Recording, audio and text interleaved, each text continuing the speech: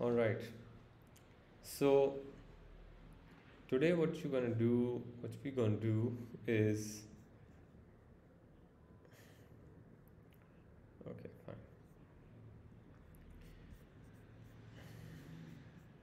So let's talk about some of the experiments that we're gonna do. One of those basically include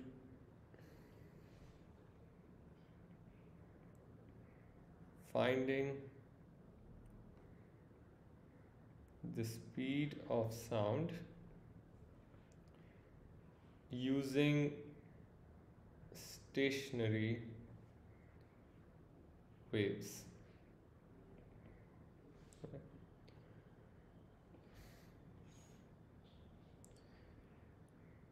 Okay. Now from this, the first experiment is basically using a water column in a tube.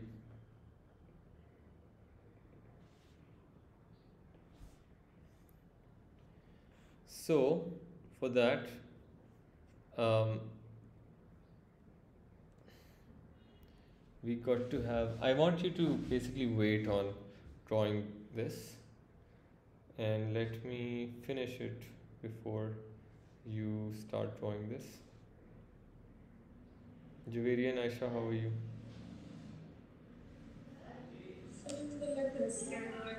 I'm good too.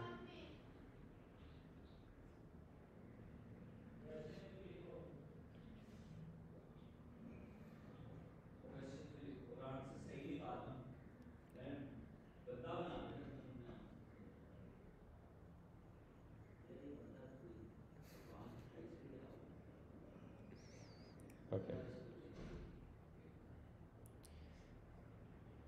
So basically what you do is you uh, fill this with some water.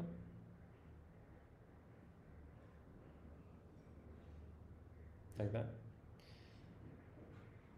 And then you have these tongs. They have known frequency. If you go to a doctor, right? Doctor like a hearing doctor, they generally have these tongs that check your hearing. They have certain frequencies. They hit it with something and then they vibrate. Like that. So, what they do is initially, when they hit it, they move the column and at a certain length, let's say L1, they create a stationary wave where a node is always created at the closed end. There is an antinode here. So they hear a loud sound because antinode is formed. And then they adjust the column.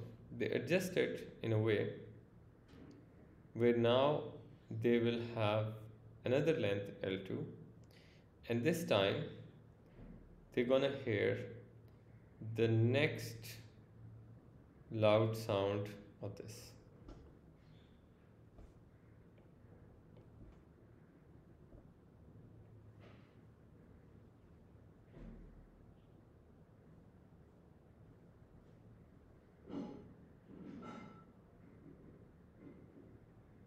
So there's a node here, there's another node here, and then there's an antinode. When they hear the next loud sound, they know that okay, now by moving this this much, you have found the next or the the subsequent antinode. All right. So I'm gonna write it down so it's more clearer that way. So what you're gonna do is you're gonna adjust the length L1 till you hear a loud sound. So this is the first step you're going to do. Then move the tube up or down till you hear another loud sound. And note L2 In fact let's write length L2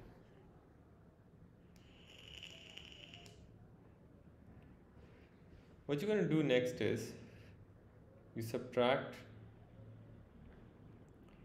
L2 from L1 and this will give you the difference between two adjacent antinodes.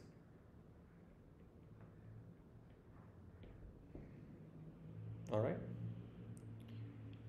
Now we can use L2 minus L1 which is equal to half lambda and from here we can find lambda to be basically 2 times the change in length whatever we got from subtracting them and finally use v is equal to f lambda to find speed of sound where f is the frequency of the tongue which we used, right? They have known frequencies, these tongues. Okay, so I hope you guys understand this. If you have any questions, do let me know about this, please.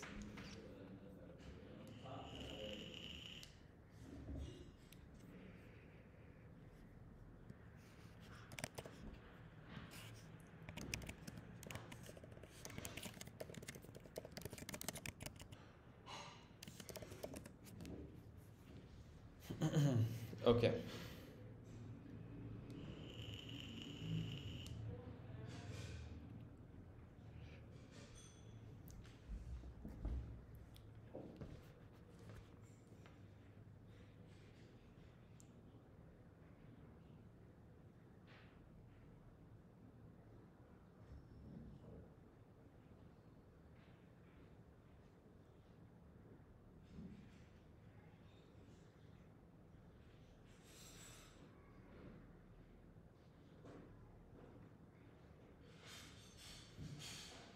All right. So now let's talk about the next thing. You guys have written it. Any questions? Should I move forward?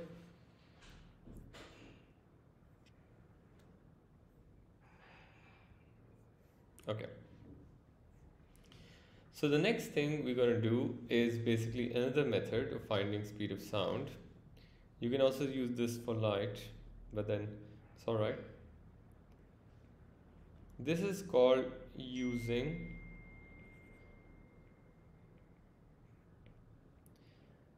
a cathode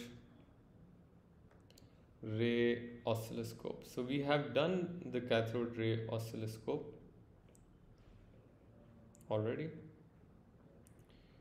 and a reflector And let's run this. This is pretty easy actually. So what happens is that suppose that we have a reflector right here.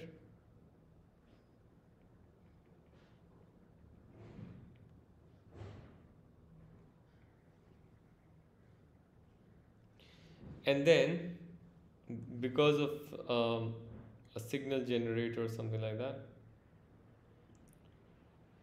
we have managed to create a stationary wave.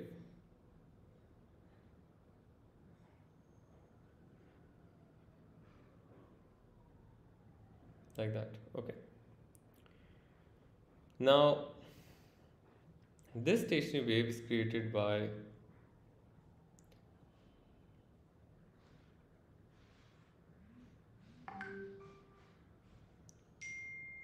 of course a loudspeaker connected to a signal generator of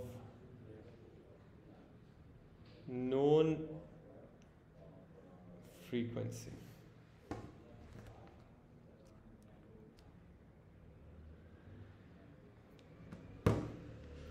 Okay.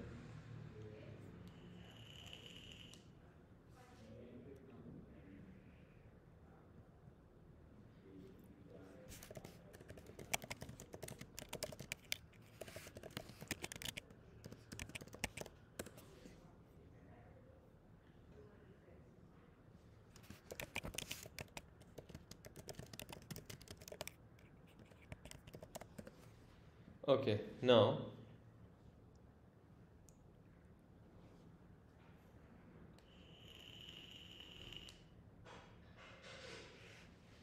Now we know that basically this section, although we can't see this, but we know an antinode will be here,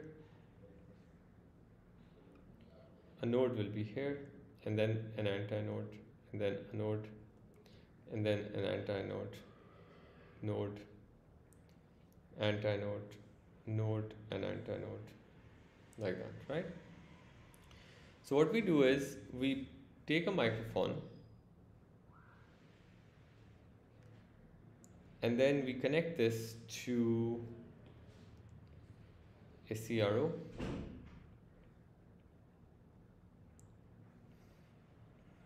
let's make it a bit nicer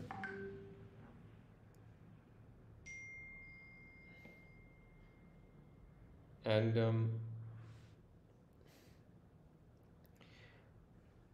so this is our mic. And then what you do is you got to move the mic. Like suppose when you move the mic here at this particular point you, you're gonna basically see maximum amplitude. Because we know that at an antinode there will be maximum amplitude. So on the screen you will it will be displayed like this now so as we move from this point to the next antinode you again will witness another maximum amplitude. So what you can do is you can find this length, this length actually. And if you manage to find this length by moving the microphone and checking where first maximum and the next maximum comes, you will be able to find the length between antinode node to antinode, right? So we're gonna write this down now. So as we move the microphone along a line. The CRO detects zero amplitude at nodes and maximum amplitude at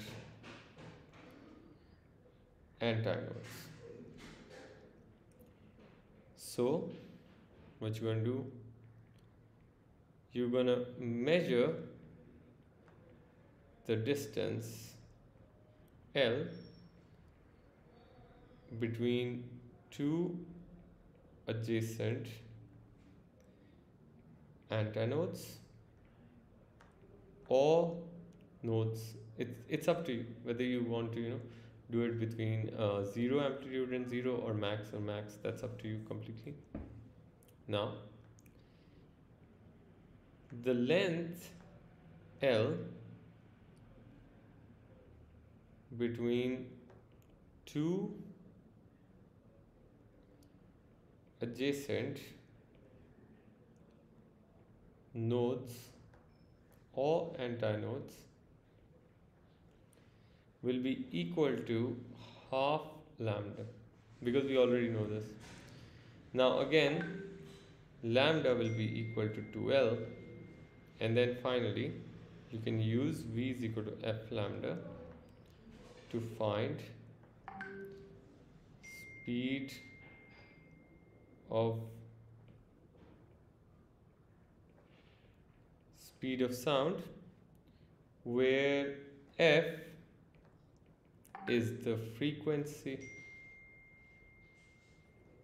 of signal generator. Like that. If you have any questions please let me know anything you'd like to know welcome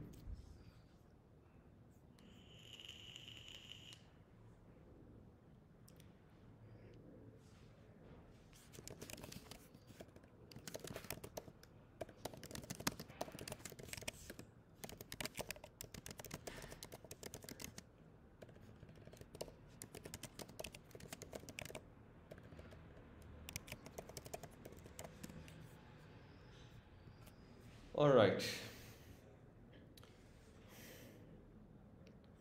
Hamad, Aisha, Javeria, Aman, Late. You guys understand this?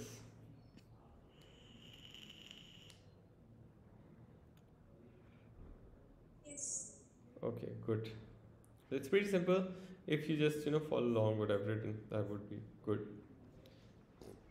Now, the only thing that I want you to tell you, I want you to understand is that write a note here.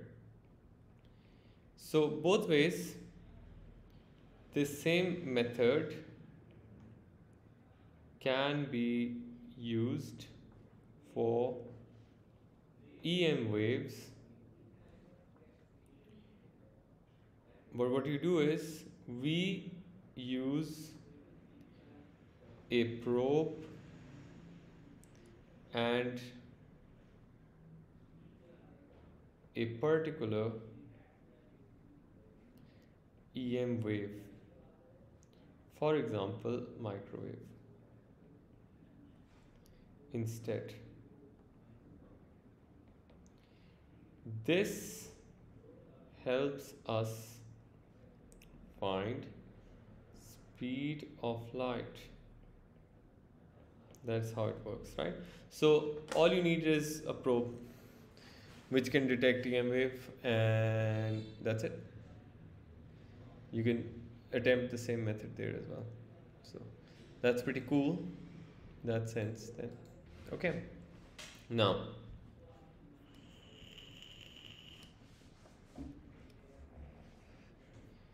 now there is another method the last one actually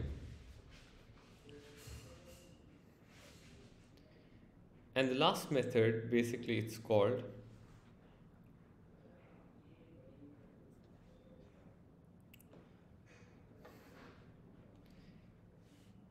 Okay, well, it had to do this. Alright, give me like one minute. I need to get some water, please.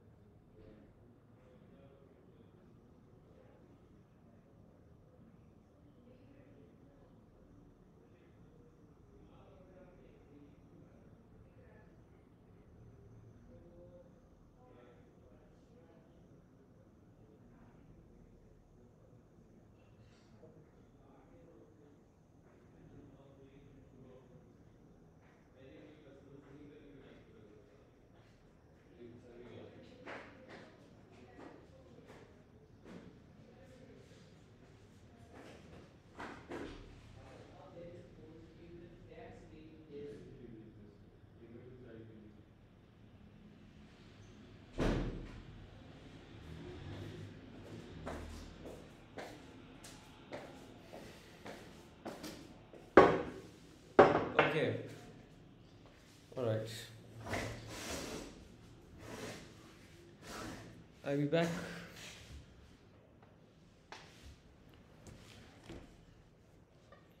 So then we have Kundt's dust experiment and uh, this experiment basically is like there's a tube.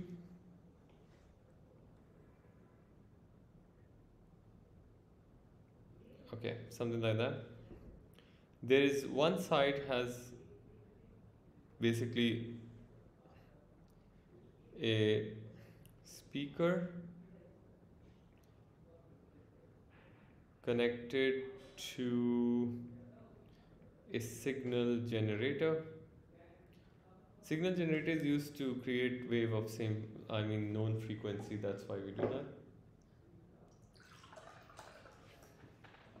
Now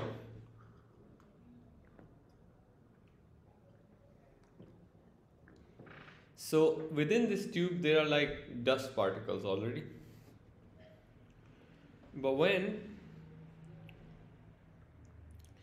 a stationary wave is created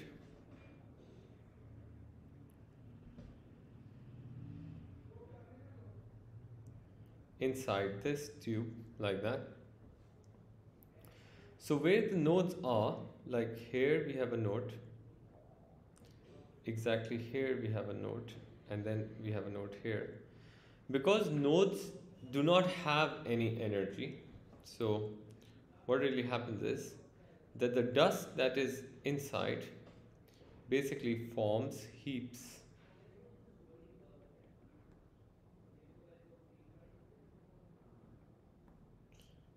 Like this okay? So these are basically dust heaps. Usually we uh, use uh, boric powder for this. It's the same powder that you use for you know sliding things off in main, many board games or something like that. So you guys need to remember that. Just hold on a second. You can draw this. And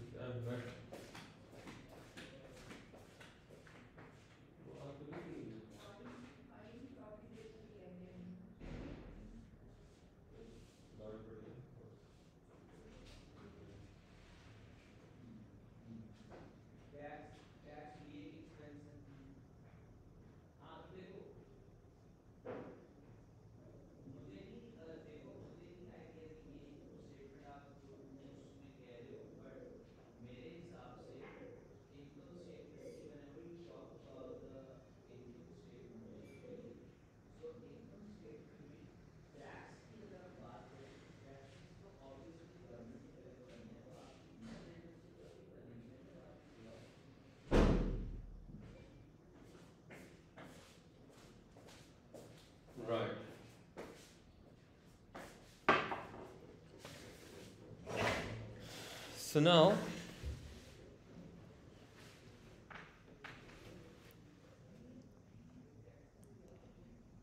when a signal generator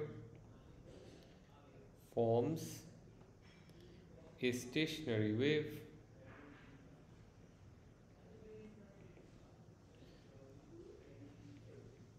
antinodes displaces the dust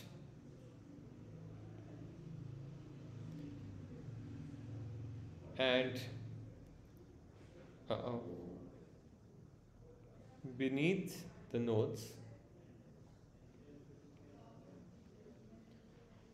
it forms heaps of dust and that's how we can identify where the nodes are, alright? You can just add this that this is because as nodes have no energy to displace. That's why. And then what you can do is you can measure the length between node to node so we can say all right measure length L between two adjacent nodes. And then we can use V equals to F lambda where L is equal to half lambda, it is node to node distance, and therefore lambda is 2L, right? And F is the frequency of signal generator. To find speed of sound. Right? Is it clear everyone? Any questions? Now, when you go on YouTube today, whenever you have time, so on YouTube, just search uh, stationary waves on fire. So you can basically look at that and you will like that video. Please do if you have time. Alright. So um, yeah. Aman Aisha Javeria Hamad. Is it clear? Any questions? No?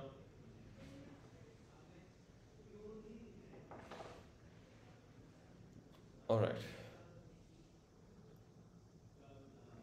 Now, we got, I hope you guys have written this.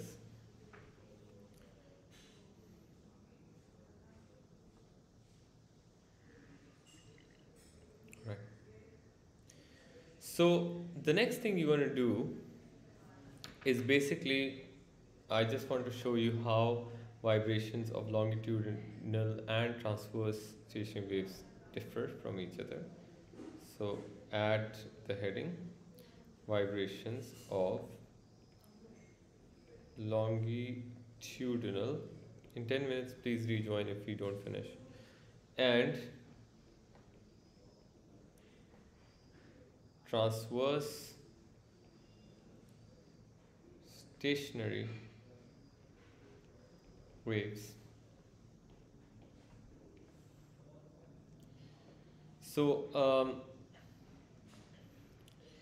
this is very important to understand that when a stationary wave forms, basically the drawing is the same that we've been doing, but the main difference would be like in a longitude in the transverse wave the vibrations get smaller near the node and it is largest at the antinode and so on. Like that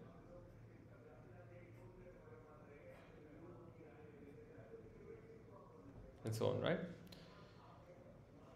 so this would be our um, transverse for longitudinal one, so I'll just copy this first, so it's easier that way.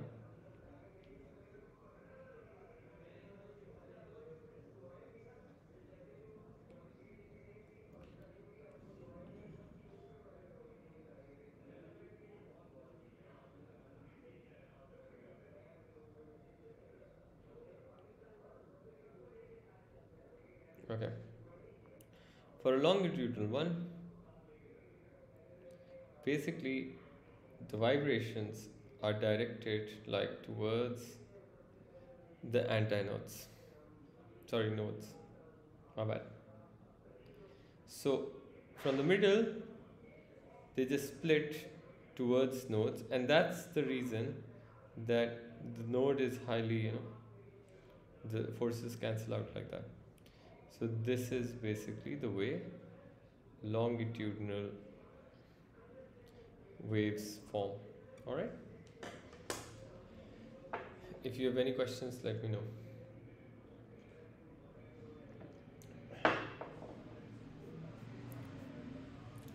Now, I just want to tell you, and that's very important, that write a note here.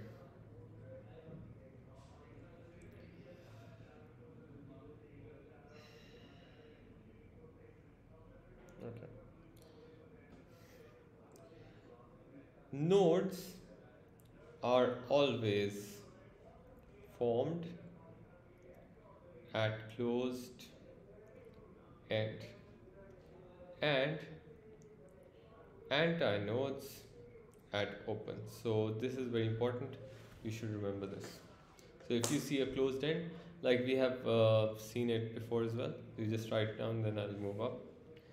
So you'll find that too.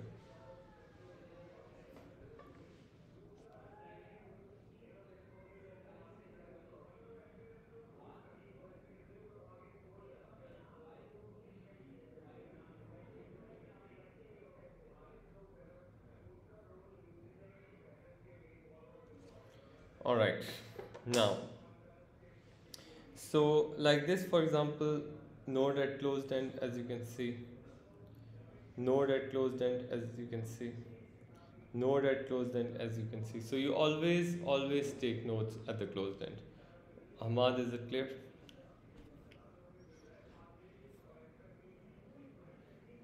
Yes. good. Now so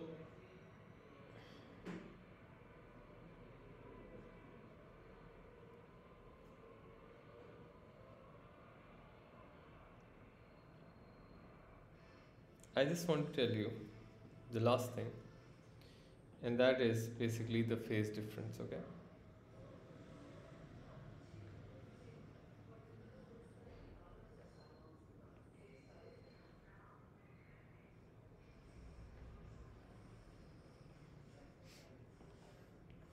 Then we'll be done with this chapter. I'm going to give you a worksheet for this, and you got to complete it by tomorrow so we can check it.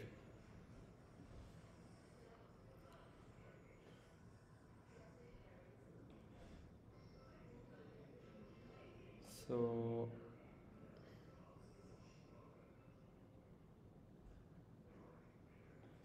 okay.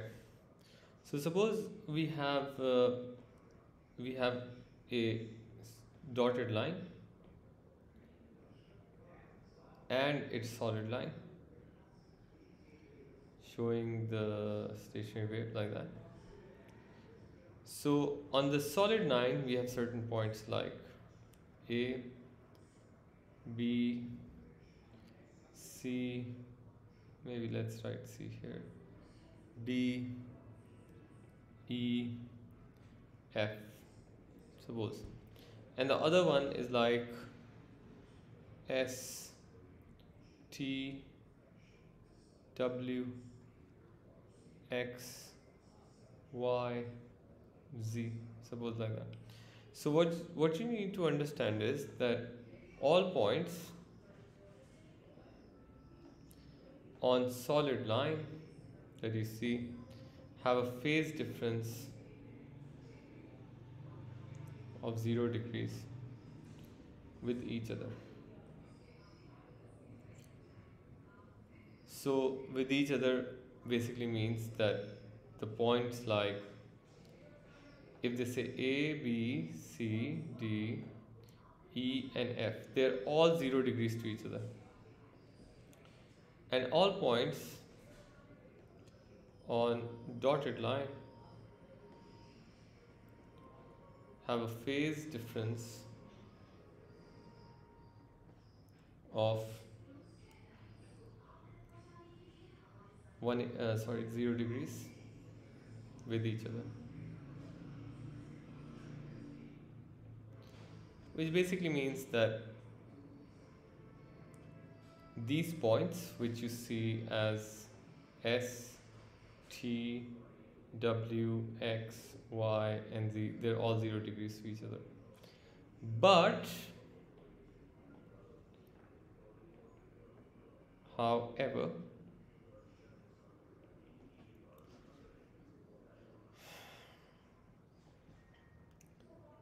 A, B, C, D, E, and F,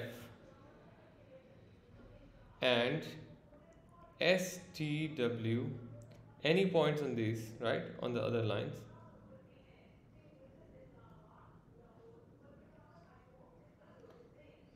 they will have 180 degree phase difference with each other. So if you compare any points on the same line, they are going to have 0 degrees phase difference and if you compare on the like opposite line which is dotted, they will have 180 degree phase difference. There is no other phase in this, only these two. Alright? I hope that's clear. Alright. If you have any questions, let me know. We'll finish with this worksheet, uh, I mean the topic.